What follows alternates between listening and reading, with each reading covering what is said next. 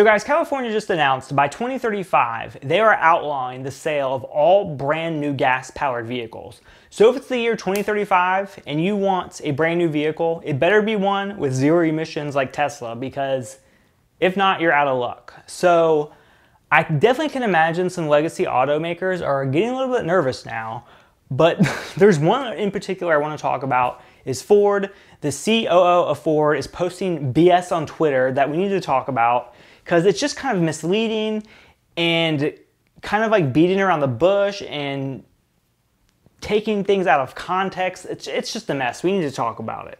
So he, he tweeted, Ford is proud to be the only American automaker to stand with California for reduced greenhouse gas emissions. We want to leave a better world for the next generation.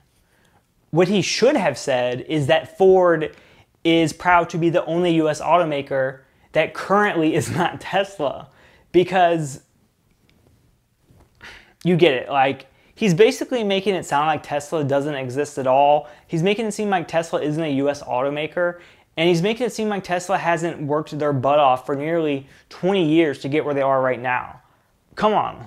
Um, and then there's another tweet that has a video. The video is taken out of context, so let's talk and watch. So the video, it says Ford and Cali. Ford is proud to be the only American automaker to stand with California for reduced greenhouse gas emissions. We want to leave a better world. And then there's a YouTube video link which we'll watch because that's a mess too. And then there's a website which we'll go to because that's a mess too. And it brings me to another whole other point that I want to talk about, which is their scam charging network. But we'll get there. So let's watch the video first. i am editing this video. I forgot to mention this, but can we just please talk about how that they're basically pretending Tesla doesn't exist, but there's a Tesla behind them. And when they're taking the picture, the photographer is like literally making an effort to shoot over the Tesla. Like, don't get that Tesla in the picture of the Ford Mach E because we can't let the world know that exists because we'll go bankrupt. Like, bitch. I want to thank, in particular, a number of manufacturers, automobile manufacturers, uh, that get it and are starting to get it done, led by Bill Ford and Ford. Uh, they have been a leader. Led by Bill Ford. So the fact, this is the governor. I have no beef against the governor of California. The problem is this tweet is taken out of context. He was praising EVs and saying how they're future and we need to be part of the future and they're a huge export of California. Like he was praising EVs. He did not say Tesla, but you you knew you knew that's what he was talking about. Um, and then he says that he wants to commend Ford for being on the forefront of this. But it sounds like, out of context, that he's basically praising Ford to be the holy grail of auto manufacturers in the United States that have to do with less carbon emissions in their vehicle. But uh, they have been a leader in this space. But how have they been a leader? Currently, right now, they have one EV, which is like nothing, and they're coming out with the Mach E, which is two. How are they a leader even in that regard? Like, okay, maybe I do have some beef with the governor too. You know, everyone is just going to learn to hate me. Uh, they're not a laggard, and they're not willing to just suffer the fate of, uh, of a future of dirtier air, dirtier water, uh, and more climate disruption. Uh, they want to lead, and they are leading with innovation uh, and an entrepreneurial mindset uh, that's leading to more customer choice, that's leading to new technological, technological advancements, and allow them to be on the vanguard of leadership, not just in the United States as a manufacturer, but around the rest of the world. Okay, I lie. I definitely lie. I have beef with the governor. He's basically saying that Ford has all these great technological advancements and they have opportunity they have the ability to not lead in America but also around the world. Dude, have you not heard of Tesla? They have plants in California. They're building one in Tex Texas. They have one in Europe. They have one in China. There's probably one going gonna be in India. I'm gonna have a stroke. Okay, but now let's watch the part of this press conference that was before this tweet. Currently, today, the state has 34 manufacturers of electric vehicles. No state in America comes close. This state represents just shy of 50% of all the electric vehicle purchases in the United States of America. We have, by one estimate, uh, close to three quarters of a million electric vehicles uh, in the state of California, 726,000 at last count. No state comes close. Our second largest export, rather, in the state of California are electric vehicles. Those 34 manufacturers represent close, those publicly traded manufacturers represent close to one half a trillion dollars of market capitalization, some 500 billion dollars. This is an economic opportunity the opportunity to transform our economy across sectors, the opportunity to accelerate innovation and the entrepreneurial spirit, the opportunity to bring more companies here into the state of California, creating more jobs. He said there's 34 auto manufacturers that make electric vehicles and it represents 500 billion market cap. Have you looked up Tesla's market cap lately? It's like 400 billion right now. So when he says 34 auto manufacturers, he literally means Tesla is like this much and then the rest is like this. He's not giving Tesla any credit. Like, why are they feeling the governor of California and Ford have some kind of deal going on? It just seems like it, right?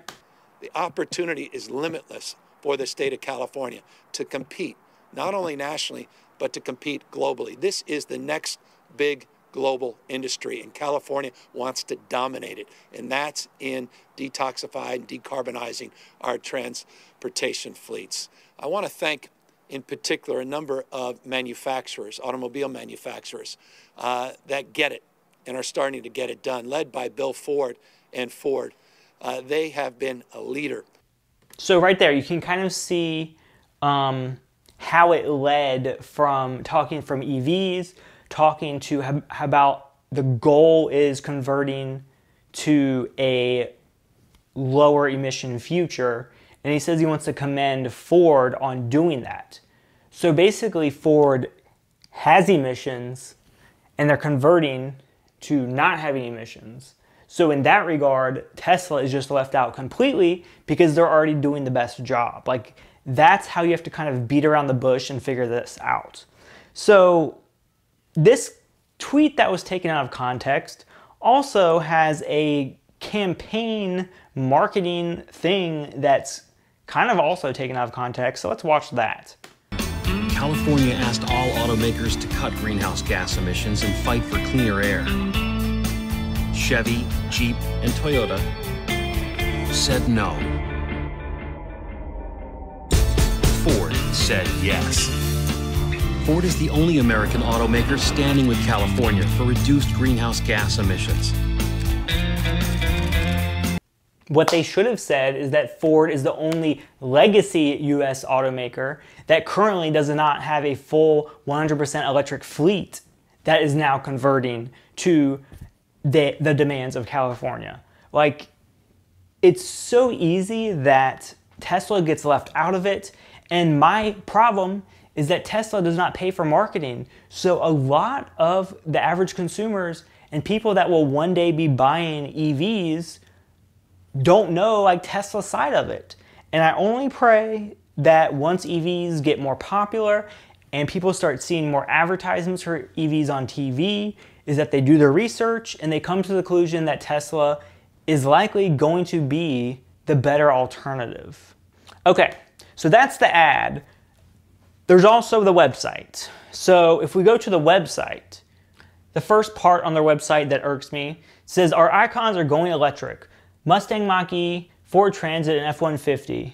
And we'll invest more than 11.5 billion in electrification through 2022. If you are so dedicated to electrification, is that the word they use? Yeah, that's a I've never heard of that word before. If if you're so dedicated, why are you releasing a brand new vehicle, the 2021 Ford Bronco, that could have been an iconic vehicle as an EV? Like you are just like training the consumers to be dependent on gas. Like now is the time. Like start now. If, if you are if you want to be the leader of this why are you making a brand new gas vehicle? I don't mm, yep next next thing that really triggers me We are delivering North America's largest public charging network. The Ford Pass Charger Network is the largest public charging network in North America, offered by auto manufacturers with over 13,500 charging stations, almost 40,000 plugs. So that kind of blew my mind. Like, how is that possible when Tesla has the best supercharging network? I checked their website. So Tesla only has about 2,000 physical supercharging locations and about 17,000 total plugs. So how is it that Ford has this crazy amount in this Ford Pass network? Like something you've never heard of. Have you ever seen a Ford Pass network charger? No, because you know what? if you go to their website and go into their Ford Pass network locator, this thing is literally just a culmination of a bunch of different vehicle charging networks. So, like PlugShare, Electrify America, they just kind of like go into this Ford network. Ford has not built anything. They are not really helping contribute to the electrification of the United States. With all these new EVs on the road, like we're gonna need chargers. Ford's doing nothing to help, they're just making a glorified app. And the thing is, like, they claim that it's free for the first two years, but you know what? A lot of public chargers are free. So let's just do an example, like right now on the spot, so I can show you guys. So I'm on this, I'm on the Ford website on their, their charging locator and it says Ford Pass Charging Network. So I have that picked. So all of these are in the Ford Pass network. So let's find one in Florida, in Sarasota. State Saint Parking Garage. Two connections, open 24 7. Free, yes. So great, thank you Ford for providing a free service to me because I bought a Ford vehicle. That's great. But you know what? If we go to PlugShare, we can find the same freaking charger that's available to anybody with an electric vehicle you can see it is a J1772 charger. So any car that has that charger will work. A Tesla can work at that charger because we have an adapter. So the thing that kills me is that people are gonna see that this Ford charging network has so many chargers and they did such a good job and they're so much better than Tesla for this reason, but they did nothing to contribute to the electrification of America. They're like I said, this this Ford like charging locator is literally just PlugShare. It's just finding finding different chargers. And the thing is, like as an investor of Ford, why would I want to invest in a company that doesn't have their own chargers? Like Tesla having their own chargers, they can make money off of them, you know? Like they kind of own all it's like it's called vertical integration you know they own all the facets of electric vehicles whereas ford of course they're going to just put it off on someone else when they can and besides that guys it's like i feel sorry for all the legacy automakers because at least according to california they have to make zero emission vehicles by 2035 and it took tesla how long to get it perfect and these legacy automakers, I feel like it, they're gonna have a harder time because their whole like structure is already built on gas-powered vehicles. They're gonna have to like basically reinvent the wheel and it's probably gonna bankrupt some of these automakers trying to get it figured out. Or they're just gonna be stubborn and not wanna change and eventually get bankrupt anyway because no one's going to want gas-powered vehicles in the future. It's just that simple. So let me know what you guys think in about this in the comment section below. Am I overreacting or is Ford definitely being misleading on this whole thing? Also, what do you think about their, their charging network? It's kind of BS, right? Like the video, subscribe, and do all the things. Bye!